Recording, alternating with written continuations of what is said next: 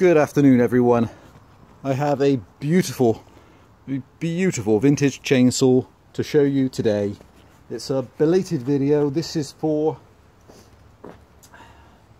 one of my very early Danarm DD8F chainsaws. It's a, a beautiful, beautiful British saw. The DD8F, this is a Mark II. I've had three of these. This one's running the uh, Villiers engine from Wolverhampton and real history with these saws. Amazing, amazing history.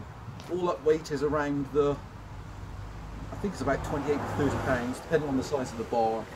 It's running a solid nose bar, 22 inch, and again it's spectacular. They started making these in 1959, so approaching 60 years old. It's running the Cox chipper chain invented by Joseph Buford Cox and they're just amazing, amazing pieces of kit. The fit and finish is fantastic. So it's up on eBay um, for spares or repair. Uh, it's working and it's a, it's a collector's item. So hopefully suitable for one of you guys out there. It's got amazing compression and it's incredibly loud. Apparently they make about five, about five horsepower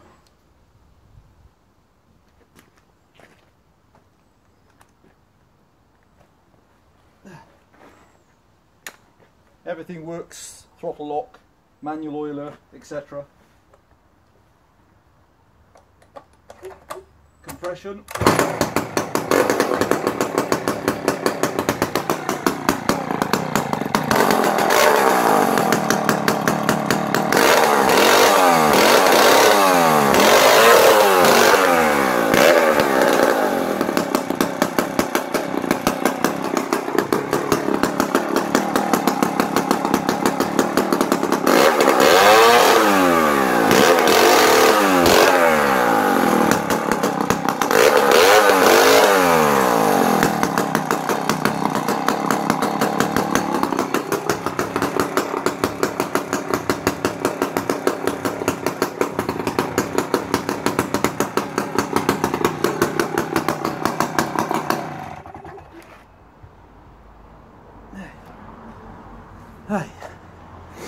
Wow, it really is loud, an absolute thing of beauty.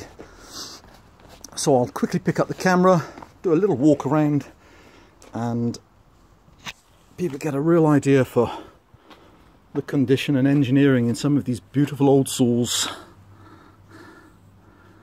So, no brakes on the pull start housing, as far as I can tell, and where possible, all the fixtures and fittings are all original English English threads.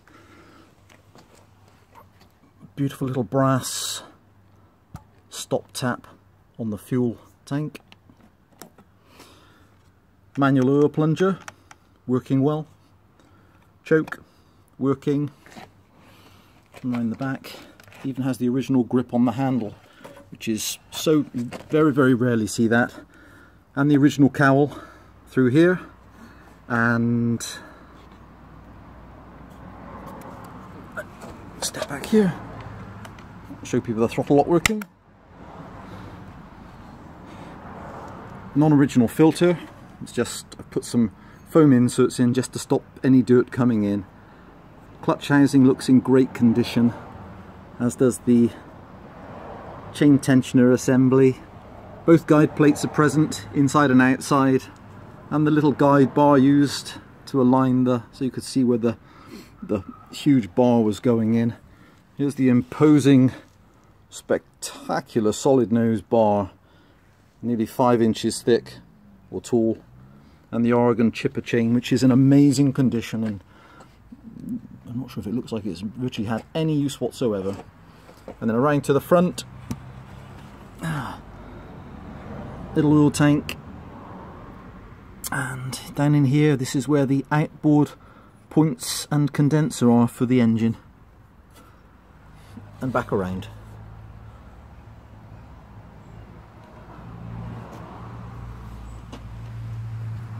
Okay I'll do a quick restart. I was going to show as well as even the um, the detail on the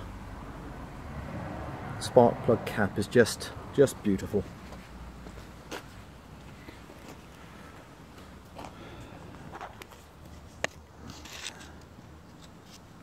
the lens, a bit greasy.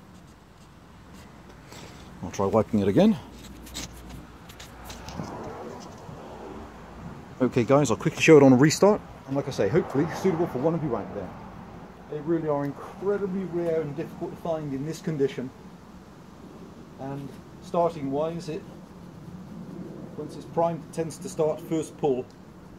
Um, I took the exhaust off when I first had it and the piston is in beautiful condition, completely unmarked.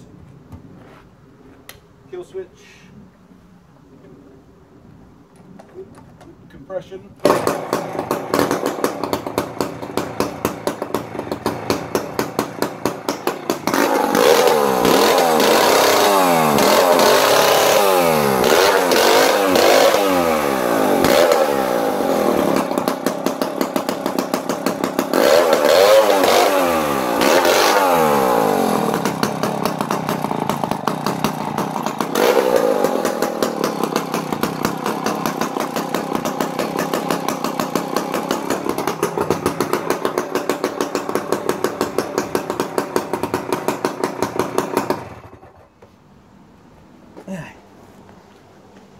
Okay guys, thanks for watching. Any questions, please just let me know.